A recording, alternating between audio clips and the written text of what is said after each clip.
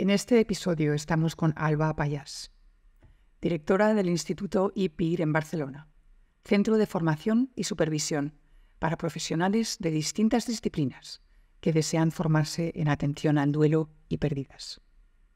Es directora del Máster en Counseling e Intervención en Duelo, Pérdidas y Trauma de la UB, licenciada en Ciencias y psicoterapeuta. Está formada en psicoterapia integrativa en el Metanoia Institute. Es miembro certificado de la International Integrative Psychotherapy Association, certificada en el tratamiento del trauma por el Instituto de Psicoterapia Sensorimotor y autora de los libros Las tareas del duelo, Psicoterapia de duelo desde un modelo integrativo relacional, y también el libro El mensaje de las lágrimas, una guía para superar la pérdida de un ser querido. Hablamos con Alba sobre el duelo tras la pérdida de un ser querido. Nos habla sobre la dimensión del duelo y de sus distintas etapas.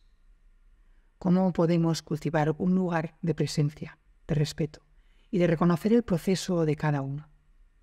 Cómo podemos ofrecer un acompañamiento sincero, abierto y con espacio para la vulnerabilidad, la resiliencia y quizás la transformación. Hola Alba, qué ilusión tenerte en Radica. Es un privilegio tenerte aquí en este mes que estamos dedicando a vivir y morir. No se me ocurre mejor persona con quien estar que contigo. Muchas gracias, María. Para mí también es un honor poder estar este tiempo con vosotros y compartir algo de lo que he aprendido durante todos estos años. O sea que gracias por invitarme.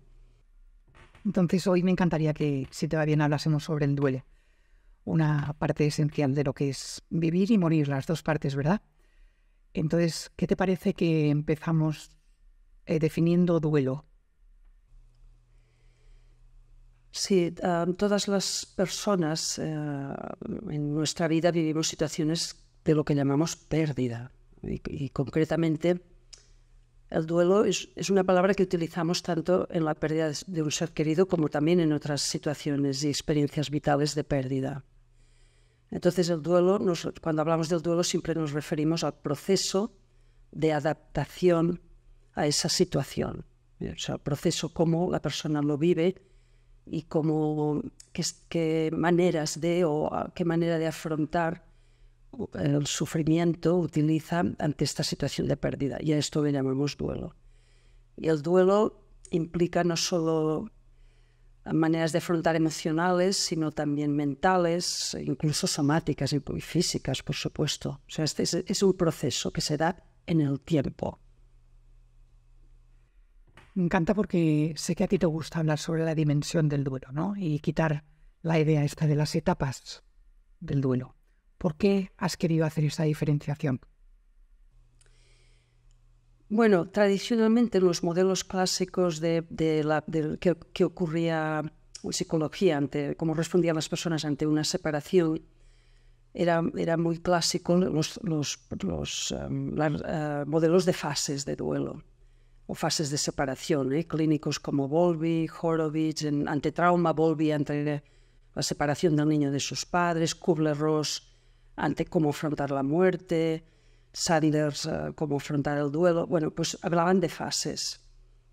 Lo que pasa es que la experiencia humana, uh, claro, um, es tan variopinta que hoy entre los clínicos no está de moda hablar de fases, porque, por ejemplo, Kubler-Ross hablaba de la negación ante la muerte, pero muchas personas no hacen negación, o habla de la aceptación pero muchas personas mueren sin aceptar que muere la muerte o, muchas personas no aceptan la muerte de un ser querido.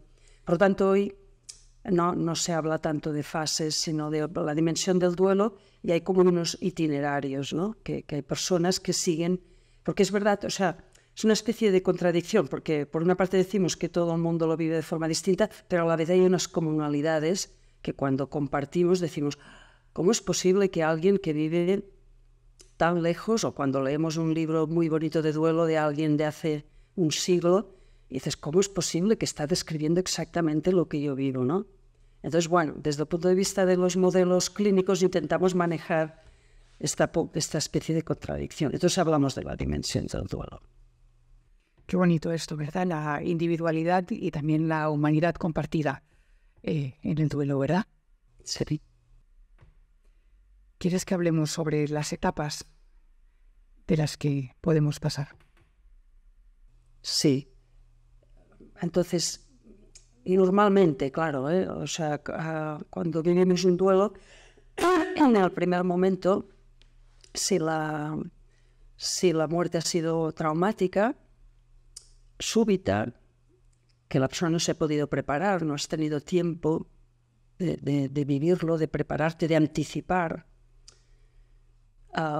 Entonces hablamos de que hay una etapa de duelo agudo, de estado de shock, donde predomina pues, los sentimientos de aturdimiento, de irrealidad, de confusión, de no entender la muerte, de no, no parece que todo es irreal.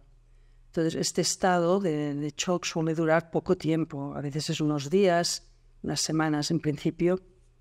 Si el duelo es normal, pues quizás un mes como mucho, ¿no? Y poco a poco, pues la persona va asumiendo la realidad.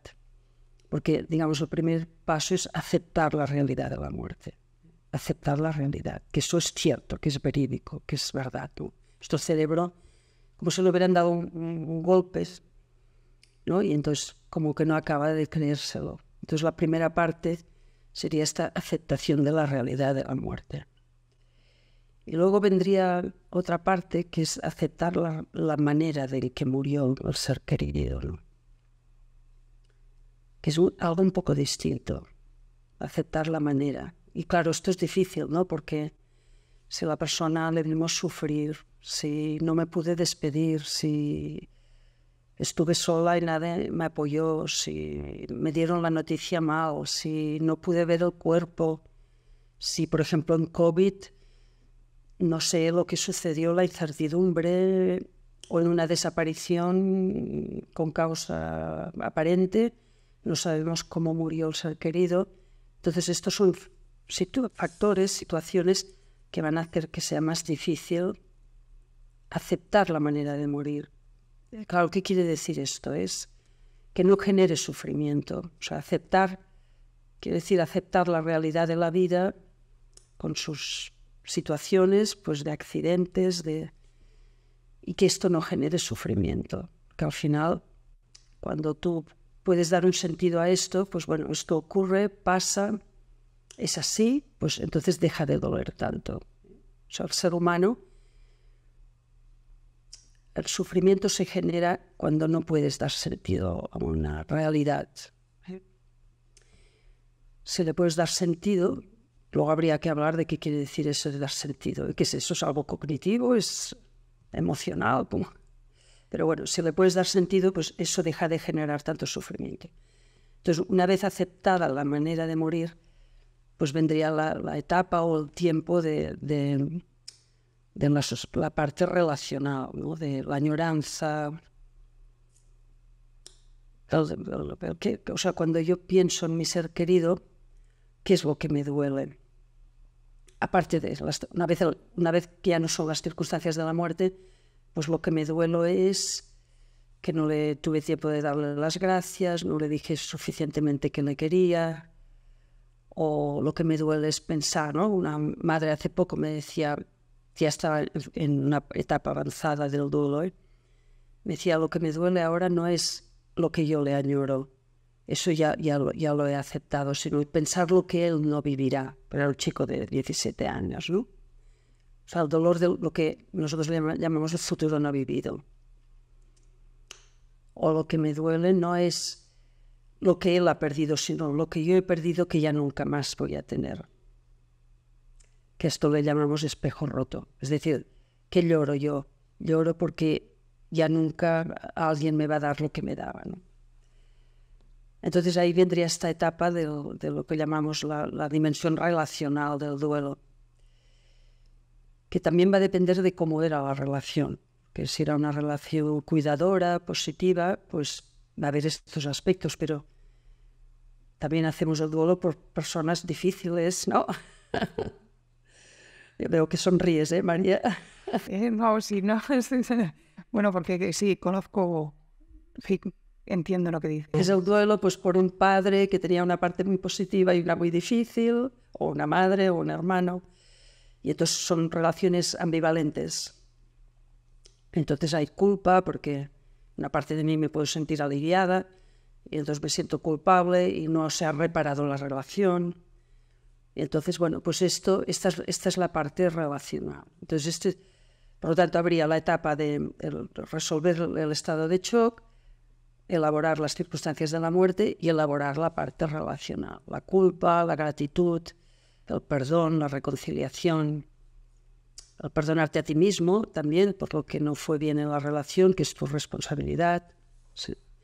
Y luego habría la última parte del duelo, que sería esta parte que, que es algo que ya no es para todo el mundo, porque las personas, esto lo vemos en terapia, ¿no?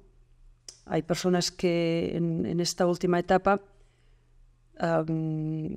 lo, que, lo que pretenden es seguir con la vida, recuperar la esperanza y la ilusión, y no tener sintomatología activa y, ya está, ¿no? que es lo que llamamos una respuesta resiliente. ¿no? Yo me encuentro mucho mejor, tengo ya intereses en la vida, ya no siento tanto dolor y, voy a tirar adelante, ¿no? Y tiro adelante, ¿no?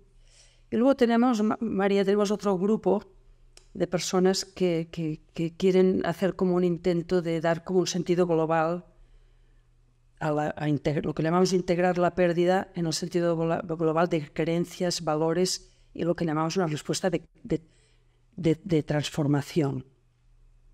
Y ahí utilizamos teorías como el crecimiento porque en la literatura de duelo hay, hay varios puntos finales en el duelo. ¿eh? La resiliencia sería uno y el crecimiento postraumático o la reconstrucción de significado sería otra. Entonces estas personas son personas que las invitamos o las ayudamos o ellas mismas o nosotros mismos buscamos lo que llamamos el legado.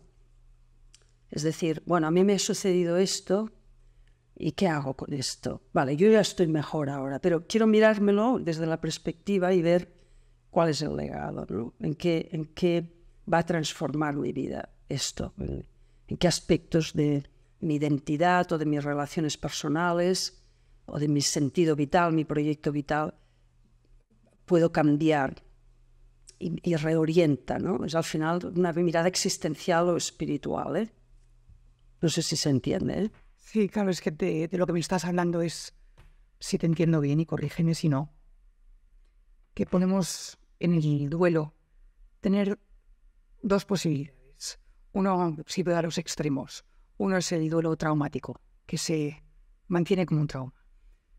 Y otro es cuando adquiere un significado la pérdida, que me da un significado y un propósito y un sentido.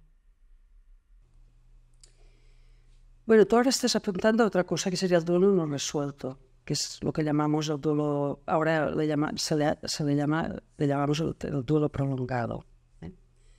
Es decir, una, una, una situación es la persona no hace el duelo y, acaba con un duelo complicado, traumático o un duelo prolongado. No acepta la realidad de la muerte o no acepta la manera de morir o responde con sintomatología de trauma muy activa o la culpa permanece, el enfado, la parte relacional no se ha resuelto. Entonces tenemos un duelo que no se ha resuelto y que va a afectar la salud física, mental de la persona y la de sus allegados. ¿eh? Porque ese padre que no ha resuelto su duelo, los hermanos ¿no? o la madre se deprime, los hermanos van a vivir dos duelos. ¿eh? El duelo del hermano que no tengo o el padre que no tengo, más que he visto a mi mamá deprimida siempre. Y esto va a tener una afectación muy importante. Esto es una situación. Y luego, el punto final del duelo.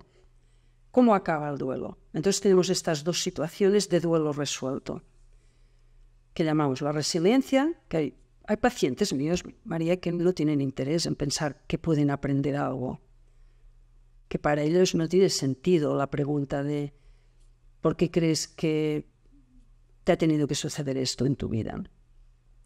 ¿Crees que te ha dejado un legado, el duelo, el ser querido? Y me dicen, no, no, para mí esto no tiene sentido. Yo lo que quiero es estar bien, disfrutar de la vida, esto me ha pasado y ya está. Y no, me, no quiero volver a ello ni, pensar que recordar o no, pero, pero funcionan bien en la vida, ah, tienen el duelo resuelto. Es importante respetar esto. Y luego habría los que están abiertos a este crecimiento, a esta transformación, a este integrar la pérdida desde el significado y a este cambio. Alba, ¿cuál dirías que es tu rol como terapeuta cuando acompañas en el duelo? ¿Qué es lo que quieres? No quiero utilizar la palabra conseguir, pero es la primera que me viene a la mente. ¿Cuál es tu intención? ¿Qué es lo que crees que debes ofrecer? Bueno, esto es como cuando tú vas a la cafetería y el camarero, ¿no? Y uno le pregunta, ¿qué quieres? ¿Café con leche, café cortado, café con leche descremada? Yo quiero un carajillo. claro, entonces el buen terapeuta de duelo adapta sus intervenciones a las necesidades de cada uno. Yo no tengo, no puedo decidir, por, por, eso tengo que adaptarme a lo que cada persona necesita. Claro que para mí, quizás, y poder invitar o cuando es más, para mí, más, claro, llegar a esta transformación cuando con mis pacientes, por suerte con la mayoría, llegamos a este punto final de transformación vital, de sentido de vida, de la identidad, ¿no? del crecimiento en la vida, del llegar al amor, porque al final es amar mejor. ¿no? Como me decía una madre, me decía, para mí el único punto final es que yo aprenda a amar mejor, que es, que es exactamente lo que nosotros... Pero también tengo que acompañar pues, a personas que... Entonces yo voy a adaptar, si la persona tiene un trauma, pues voy a estar en, en una intervención de aligerar el tema del trauma y utilizamos pues todo de modelos de intervención en trauma. Si la persona está en negación, en negación y no, no quiere hablar porque toda su vida ha llevado una armadura de negación que le protegen, que yo no puedo sacarle esta armadura porque se me va a derrumbar y se fragmenta el ego. Entonces, bueno, pues yo voy a tener que acompañar en esta negación, respetándola o retándola si veo que hay oportunidades. ¿eh? Estilos muy cognitivos, muy pragmáticos, ¿no? Yo tengo pacientes que vienen con un papel y me dicen, mire, yo no quiero hablar de la muerte de mi mujer, yo quiero que usted me dé consejos para ir mejor y que mis hijos vayan a mejor.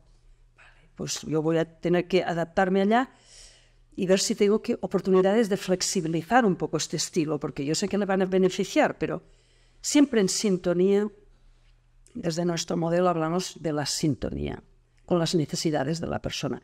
Y luego tengo pacientes que, que están abiertos a la dimensión espiritual y que tengo que estar muy al tanto allá de que no sea una sublimación. María también, ¿eh? Porque también es verdad que las creencias, ¿no? Y eso de aprender también puede ser una trampa, ¿eh? En el sentido de no, no entrar en el dolor y querer ir directamente a la sublimación y es una excelente manera de no sentir dolor. Entonces ahí pues también tenemos que vigilar con esto. No sé si se entiende. ¿eh?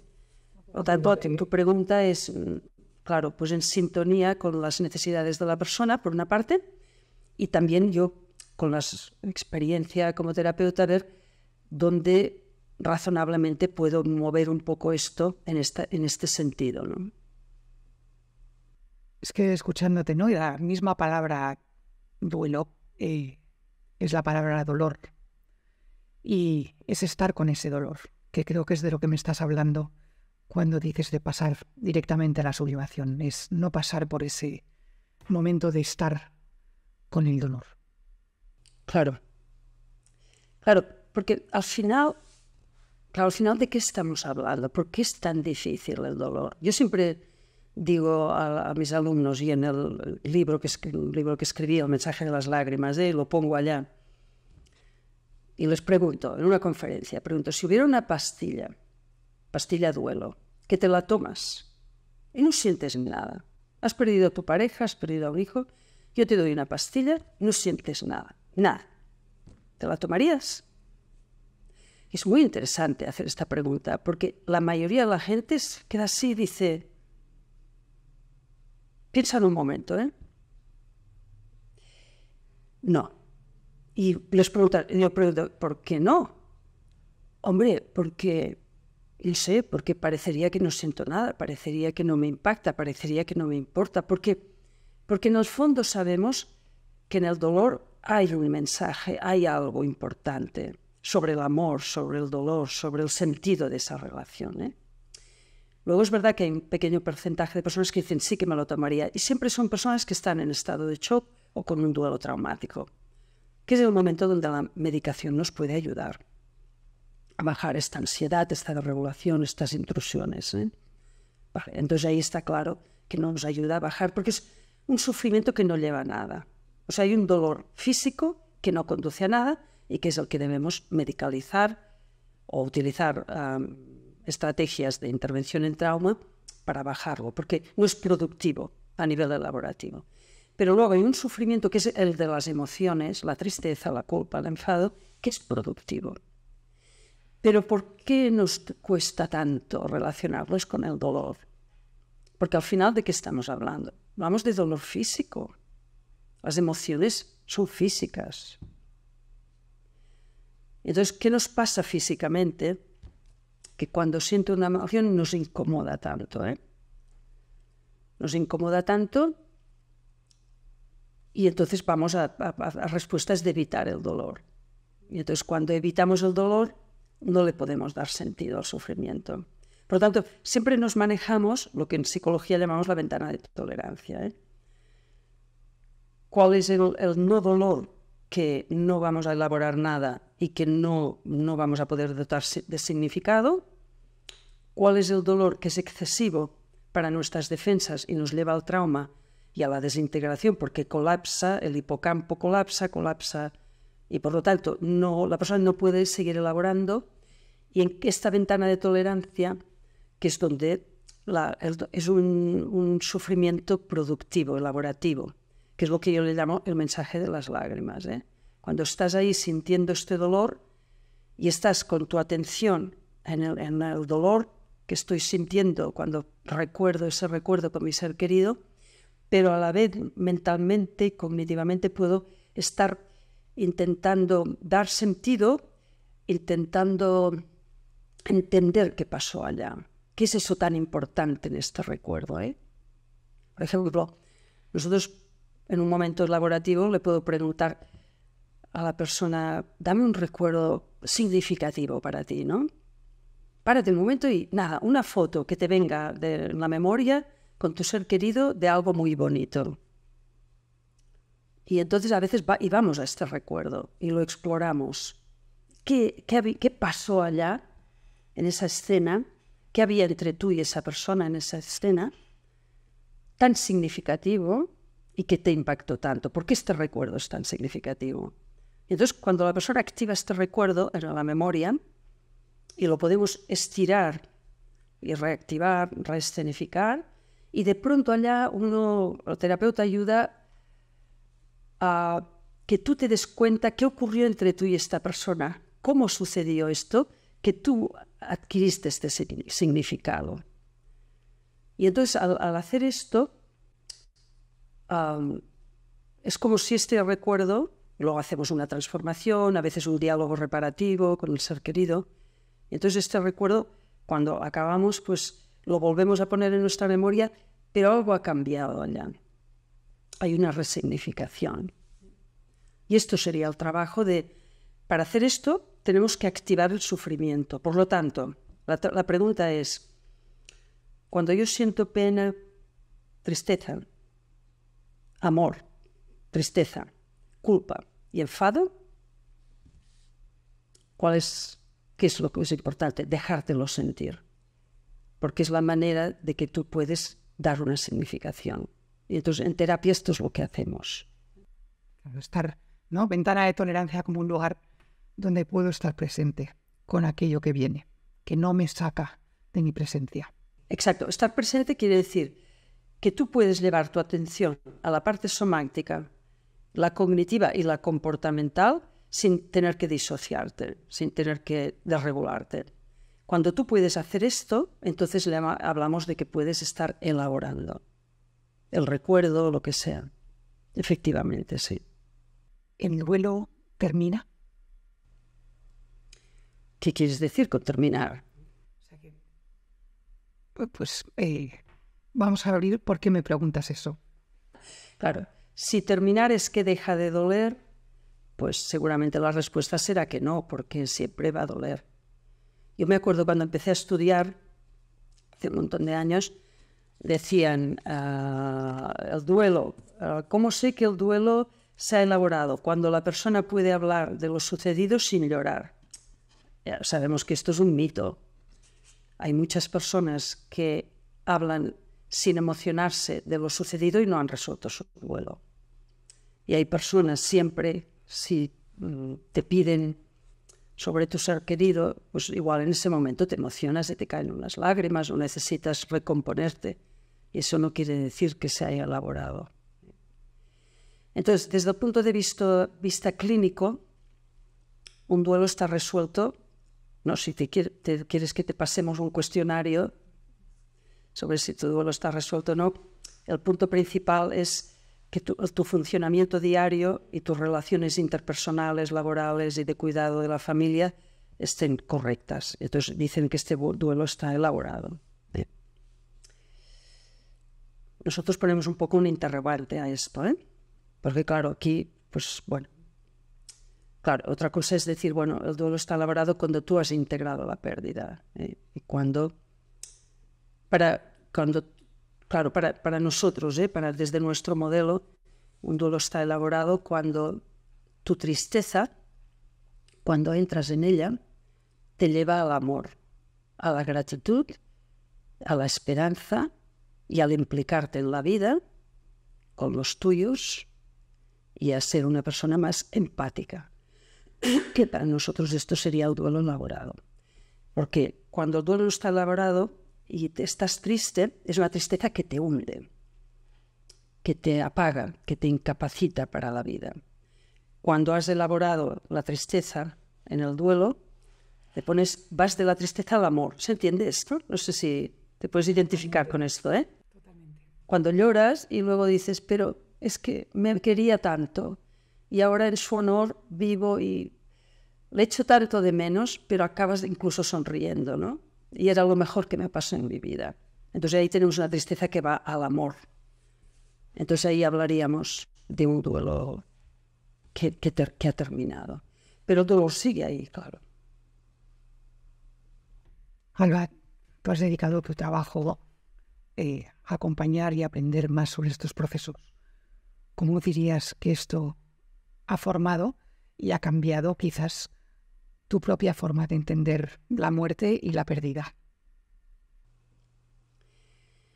Bueno, yo he sido tan afortunada porque tuve la suerte, además fue una cosa que fue como un milagro, ¿no?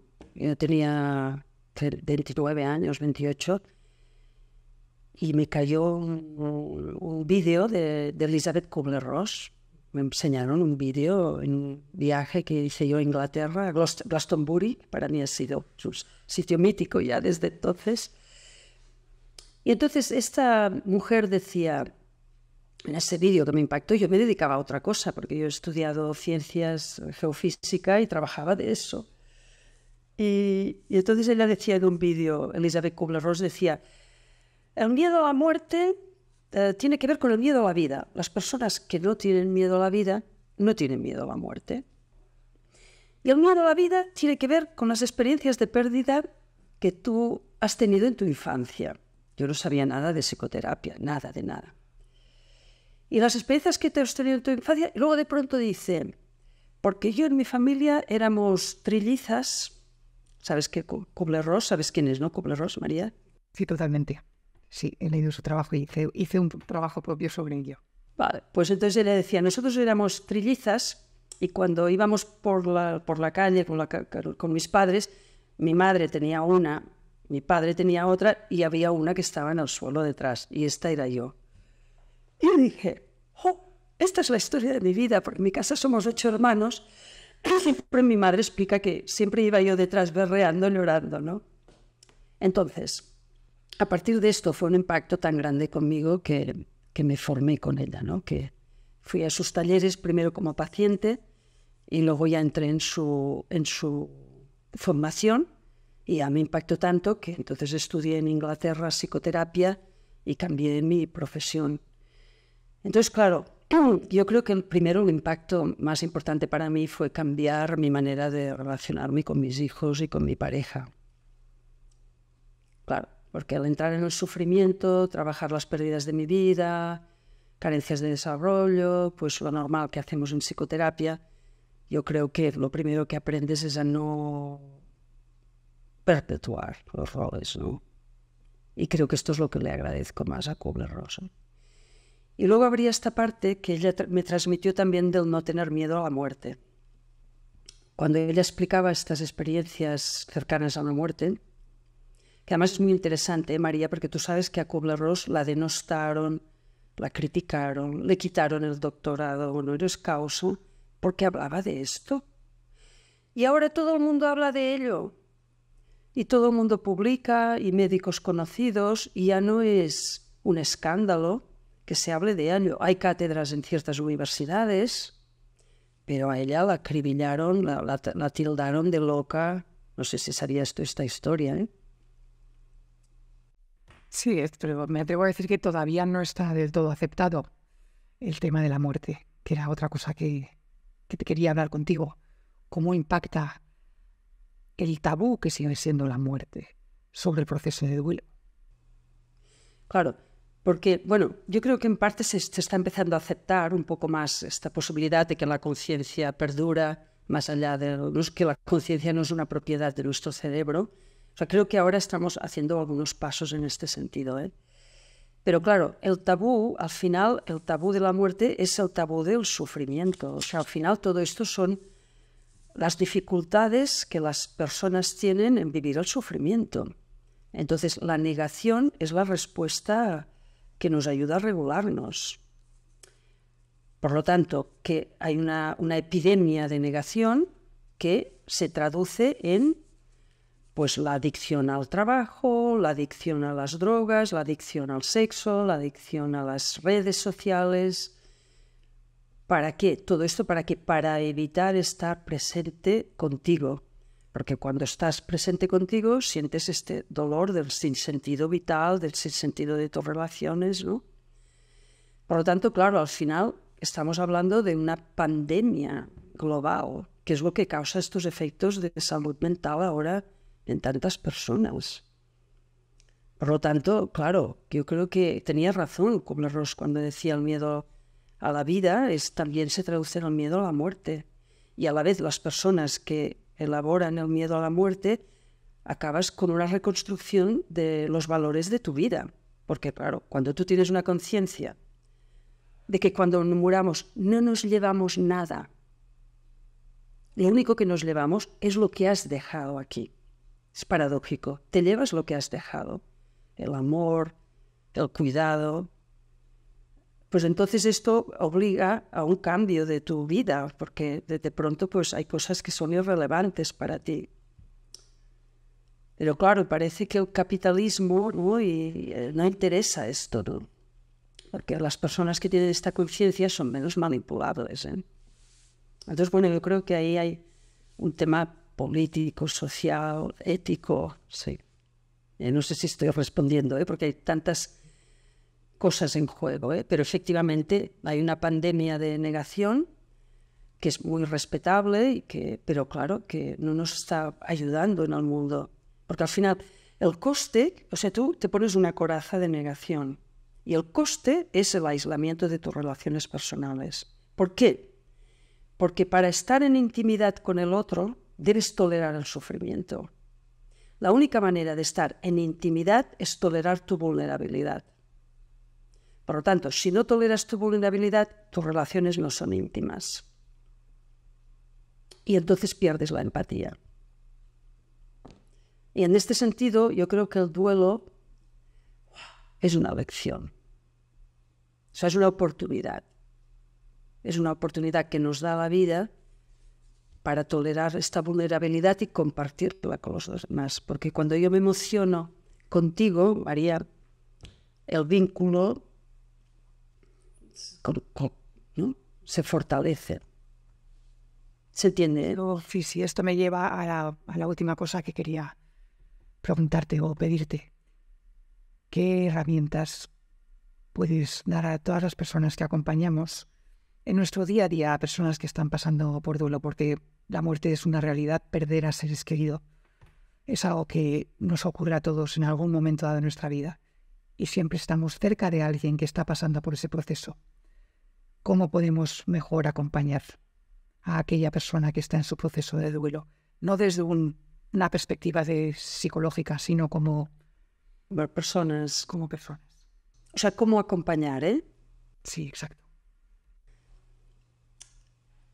Ah, yo creo que es muy importante ofrecer tu disponibilidad. Es lo primero. Ofrecer tu disponibilidad tomando la iniciativa. Es decir, no decir, si necesitas algo, llámame. Esto no ayuda a las personas en duelo, porque las personas en duelo tienen la energía demasiado baja como para pedir ayuda. ¿no? Es decir, si me necesitas, llámame, pero si no me llamas, puedo venir yo a verte y te llamaré y me haré la pesada. Si no, me dices, no hace falta, pero hacerse presentes y mantener esto en el tiempo, porque lo que al principio todo el mundo se hace presente y luego pasa un mes, dos y ya están en otra cosa y ya es la, misión es ya el mensaje es ya está, ¿no? Mantenerlo en el tiempo, eh, mantener la disponibilidad en el tiempo. Y entonces las personas en duelo tienen dos necesidades. No hablar de ello en algún momento y distraerse y en otras hablar de ello. No, recuerdo, yo tenía una paciente en duelo, una mamá, que su hijo murió en un accidente de, de coche, ¿no? Y me decía, las personas en duelo deberíamos llegar una etiqueta aquí que pusiera hoy acércate y pregúntame, quiero hablar de mi ser querido. Y, luego la pudieras girar y decía, hoy no te acerques y no me preguntes, hoy distráeme, ¿no? Decía, y no, me gusta mucho esta imagen, ¿no? Porque, de todas maneras, en general, las personas en duelo les es más fácil encontrar personas para la distracción que para el compartir. ¿eh? Pero estar atento aquí, porque la sintonía, cuando llegas a decir, ¿qué tal? ¿Cómo estás? ¿Qué te apetece hacer hoy? ¿Te apetece? ¿No? Y si hay una ventana para compartir, pues estar allá escuchando, ¿no? Que nos cuesta tanto escuchar. Escuchar quiere decir estar presente sin dar consejos, no utilizar tópicos. Los tópicos, ya verás cómo el tiempo lo cura todo. Bueno, tú tienes otros hijos, distráete, ahora está mucho mejor, está en el cielo, o pues evitar estos tópicos. ¿eh? Y entonces ofrecer esta escucha, el contacto físico, para algunas personas ayuda, para otros no. Pero básicamente yo creo que es esto. Y no tener prisa. Cuando escuchas, no tengas prisa. Ofrece tu presencia cálida, contenedora y, deja hablar al, al otro, ¿no? invítale a que pueda compartir sus sentimientos, sus pensamientos. ¿eh? Creo que sería lo, más el básico, ¿no? Pero que nos cuesta tanto, ¿no? Porque claro, tú vas a, ¿no? Ahora María, te pregunto, tú, yo te digo, se ha muerto mi mamá, ¿no? ¿Y cuál es la más estúpida de las preguntas que te hace la gente cuando dices, ¿está muerto mi mamá o mi abuelita? ¿Cuál es la pregunta que te hacen? ¿Cómo estás? No, no, esta no, no. ¿Cuántos años tenía? ¿Cuántos años? Sí, ¿Cómo estás? No. ¿Cuántos años tenía? Verdad, tienes razón. ¿O de qué se ha muerto? Ojalá preguntaran, ¿cómo estás?